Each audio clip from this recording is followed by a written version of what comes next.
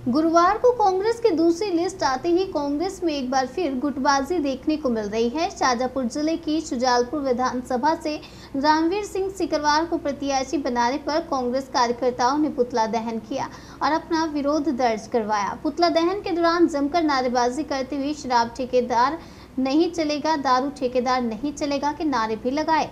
शाजापुर ज़िले के शुजालपुर विधानसभा से कांग्रेस पार्टी से तीन दावेदार थे, जिसमें योगेंद्र सिंह बंटी बना कांग्रेस जिला अध्यक्ष का टिकट कटने से नाराज़ कांग्रेसी अब सीकरवार का विरोध कर रहे हैं। बीते चुनाव में भी सीकरवार को भाजपा के इंदर सिंह परमार ने 5000 से ज़्यादा मतों से हराया था। गुलाना बस स्टैंड पर योगेंद्र सिंह बंटी बना के समर्थकों ने पुतले का दहन कर टिकट वितरण में पैसे के लेन देन और गलत निर्णय का आरोप लगाया है। फिर भी इस बार लगता है कि जैसे शराब माफियाओं को टिकट देना क्या यही पार्टियों की प्राथमिकता है? हाँ ये पार्टियों की ये प्राथमिकता है। आदमी को देखते नहीं कौन आदमी किस पे संघर्ष कर रहा है, कौन आदमी जिला पंचायत का चुनाव जीता है, कौन जनपद का चुनाव जीता था कौन मंडी का चुनाव जीता था कौन सरपंच का चुनाव, इस बात को बिल्कुल पार्टी नकल ने कर दी है।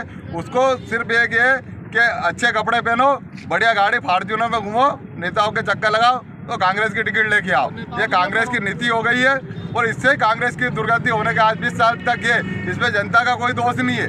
इसमें जनता का दोष नहीं है ना वोटर का दोष है। ये हमेशा कांग्रेस को पंद्रह साल वनवास काटा है तो इसी के कारण काटा है उसके गलत निर्णय के कारण कांग्रेस ने वनवास काटा है। क्या बन्ना को टिकट नहीं देना कांग्रेस को पाँचों विधानसभा में भारी पड़ सकता बिल्कुल असर पड़ेगा पूरे ज़िले में फ़र्क पड़ेगा पूरे ज़िले में फ़र्क पड़ेगा। पाँचों बीजेपी की आएगी इस बार। कांग्रेस के जिम्मेदारों ने क्षेत्र की जो जनता है उनके भावों का कहाँ तक सम्मान किया? बिल्कुल भी नहीं करा जनाधार का कितना सम्मान किया? जनाधार का अगर सम्मान होता तो बंटी योगेंद्र सिंह बंटी वाला को टिकट मिलती तो जनाधार का सम्मान सम्मान होता मेरे पास में जैसे टिकट कटने के बाद में। 500 फ़ोन आ चुके हैं हर जगह आक्रोश है हर गाँव में आक्रोश है हर पोलिंग स्तर तक आक्रोश है। कार्यकर्ता बिल्कुल हतोत्साहित है और वो निर्णय कांग्रेस के विरोध में लेंगे निश्चित है। अच्छा कुछ लोग ये बता रहे हैं कि टिकट इस बार जो है प्रणाली के तहत नहीं बड़ी मंडी की गई है टिकट। मंडी पक्की मंडी की गई है। अगर सर्वे में आया जिसका सर्वे में था जिसने जिसने सभाएँ करवाई राहुल गांधी की सभा बड़ी बोलाई में हुई जिसने तन मन धन लगाया दो रुपए नहीं लिए।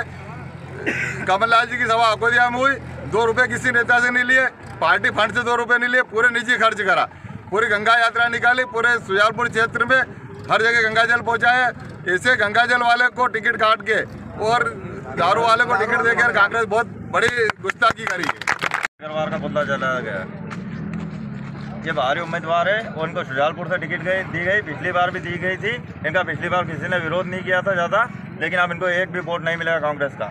मैं कांग्रेस का खेल प्रकोष्ठ एवं खिलाड़ी का जिला अध्यक्ष हूँ और इस पद से आज इस्तीफा देता हूँ। तो पार्टी के पदाधिकारी तो कह रहे थे कि कमलनाथ जी का कार्यक्रम हुआ था उसके लिए भी बंटी बना को बधाई दी थी बंटी बना सर्वे में भी अव्वल थे। और उसके बाद अचानक ये कैसे क्या हुआ? ये मंडी चलती है पैसे की मंडी चलती है सारे भूखे पड़े हैं ऊपर तक कांग्रेस पार्टी में।